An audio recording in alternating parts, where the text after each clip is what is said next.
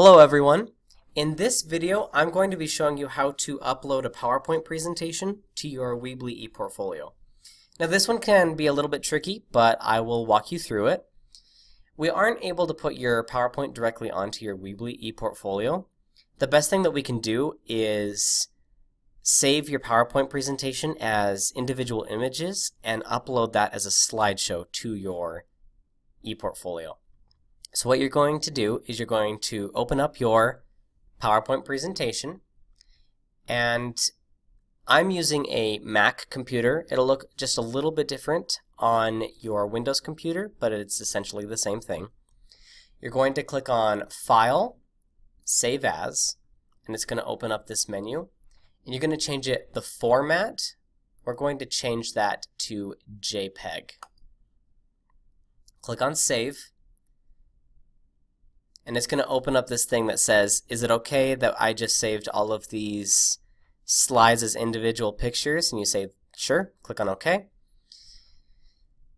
We're now going to go back to your Weebly ePortfolio, and you're going to grab a slideshow. Pull that over and let go, and it's going to open up the Choose a Slideshow Style.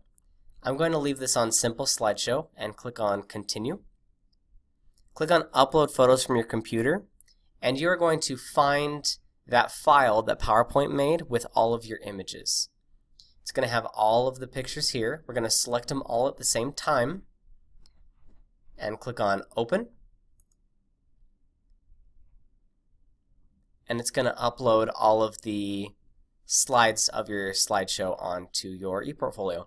If these are ever out of order, you can always rearrange them. Just click and drag it to the correct place. If you need it to go to a different order, I'll move them back. If you missed a slide of your slideshow when you were first selecting them, just click on Add Photo and you can go back and add the slides that you missed and click on Save. And there is your PowerPoint presentation. The next thing that we want to include is the downloadable file for your teacher in case they want to download your PowerPoint. So Click on File, this box right here, drag it underneath your slideshow, and click where it says click here to upload a file. Click on Upload File, upload a file from your computer, and you are going to find that slideshow. And click on Open.